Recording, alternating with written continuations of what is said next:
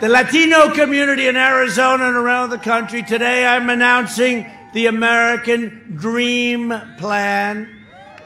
Over the next four years, the American Dream Plan will bring more than 2 million new jobs to Hispanic communities, create over a half a million new Hispanic owned small businesses, which will end up being large businesses if I know you and I know you well. Great business people, great natural business people. Expand opportunities for federal contracting. It's going to be much easier for you to get some of those jobs and increase access to capital by hundreds of billions of dollars. You're going to be in great shape. You're going to say, I liked him very much.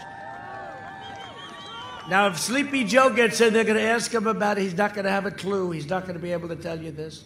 More Hispanic Americans will be able to buy a home, to afford quality health insurance, and to raise their families in a beautiful, safe neighborhood.